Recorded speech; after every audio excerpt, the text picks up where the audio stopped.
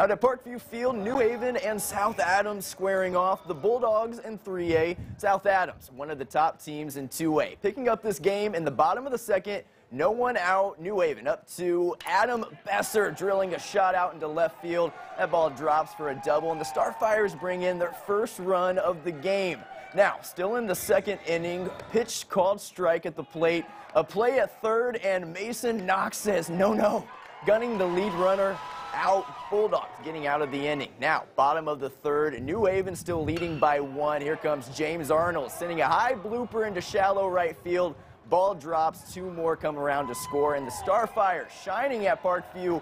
South Adams winning 9 to 2, and game two, Eastbrook defeating Northfield 6 to 2.